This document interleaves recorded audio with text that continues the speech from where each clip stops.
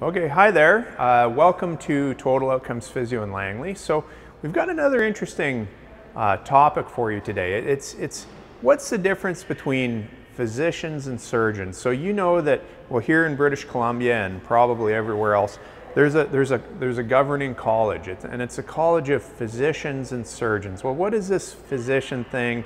What is this surgeon thing? And why would it matter? Why would it matter to anyone? So I'm going to tell you there's a difference between physicians and surgeons. So the physicians, those are guys that went to school, they got a lot of education, and they're kind of the, the slow and thoughtful thinkers. They're the, they're the ruminators. And the, the reason is because the types of problems they solve are, well, it's a certain type of problem. So let's contrast that with the surgeons. The surgeons, they're the, they're the fighter pilots of the medical professions. They, they, they make quick decisions, sometimes impulsive. It might look rash, but the reason these guys make decisions so quick and the reason why anybody lets them be surgeons is because they're pretty smart and they make the right decisions in a moment. But they're not always guys that want more information. So where the physician says, well, tell me about that. And they, they sit back and they listen and they go, well, tell me more about that. Tell me, how does it, how does that exactly work? And th then they'll think about it and it's okay. That's the right thing to do to sift through difficult diagnoses, different difficult problems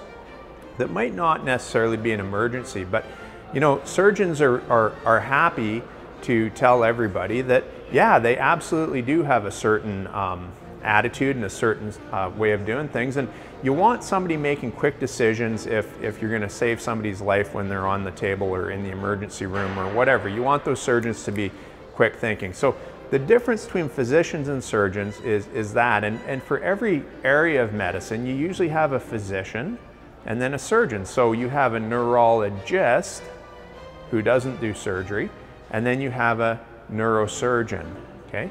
And you've got a cardiologist, okay, and then a cardiovascular surgeon. So a lot of the time there's a physician and a surgeon for each and they, their, their system overlaps a little bit. Now in orthopedics, all we have is an orthopedic surgeon. We don't really have an orthopedist. It doesn't exist. So the orthopedist is really the physiotherapist or maybe the sport med doctor, which isn't um, necessarily a medical specialty, but it's a, a bit of an advanced education. So, so you got the physiotherapist handling the conservative um, management, the non-surgical management of orthopedic issues. Orthopedic meaning bones, joints, and muscle. And then you have the orthopedic surgeon who does the fixing, who gets in the in, into the operating room and fixes a thing. We know that we do our jobs symbiotically, and, and that's great because it, it, together we can get better outcomes for you. But now, sometimes people have a question, so why does my orthopedic surgeon, why does he treat me like this? Why does he treat me like that? You get to talk to your physio several times a week about your knee problem or your back problem or your neck problem or your jaw problem. And you really feel like that person listens to you. You really feel like they get to know you. They can coach you in depth, spending as much time as they want so that you, you get it, you understand, and that's important. Now, the orthopedic surgeon knows that the physio is doing that.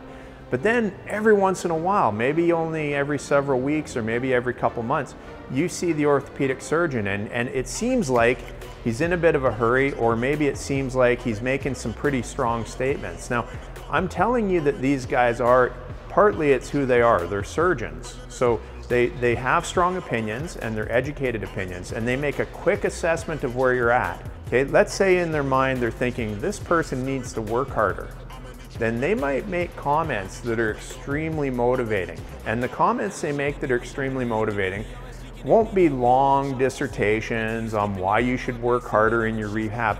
They might actually do something that just makes you afraid. Okay, they might do something that makes you go, oh my gosh, he just said such and such. And so people go back to their physio and they, they might have even fear, they might have anger, and they say, I can't believe he said blah, blah, blah, blah, blah, right?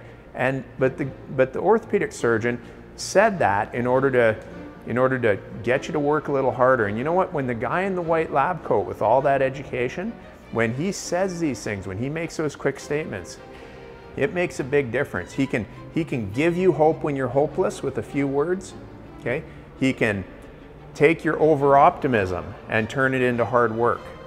So the, the surgeon has a lot of power in that short meeting. And, and I just want you to understand that it's partly who he is and partly how he's trying to steer you and motivate you and just trying to get the best outcomes because I haven't met a surgeon so far that doesn't want excellent outcomes. Okay, thanks for listening. That's the difference as far as I see it, you know, between physicians and surgeons. So take, take what you can from that and you have a great day.